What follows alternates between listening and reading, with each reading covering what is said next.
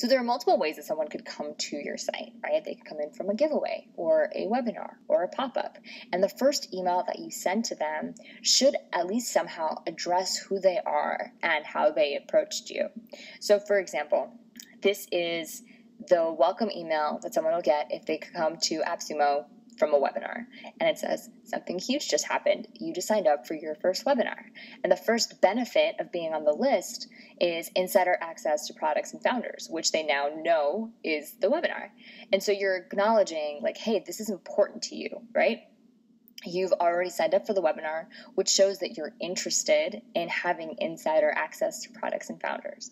And so I'm going to build that as the first benefit of being on our list because that speaks directly to your actions.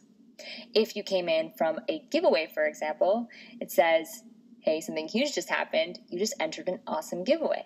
And the first um, and the first bullet point is access to unbelievable software deals um, because clearly like if you're entering a giveaway, you're interested in getting something for free. You're interested in um, in the discount and, and obtaining a product. And so this says this giveaway was just the beginning. Every week, we're going to send you incredibly good deals on software these tiny minor tweaks that really took just a couple minutes to set up are just a little bit of segmentation that then you can see hey um, how did a welcome email from a giveaway perform versus a welcome email from a webinar?